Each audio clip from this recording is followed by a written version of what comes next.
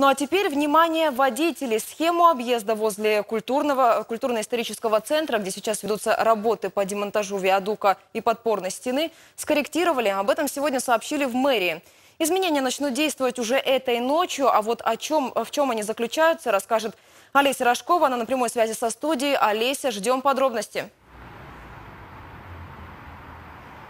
Виктория, здравствуйте. Изменения коснутся только вот этого участка на улице 9, 9 января.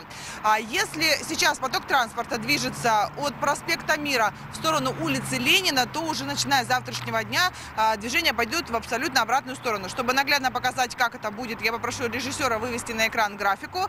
А, и с завтрашнего дня поток пустят э, с улицы Ленина в сторону а, проспекта Мира. Движение также будет здесь э, односторонним. И устанавливать соответствующие знаки начнут уже сегодня ночью. А, Также в департаменте горхозяйства обещали, что а, дежурить дорожные полицейские а, будут завтра с утра, чтобы направлять водителей и никто не запутался.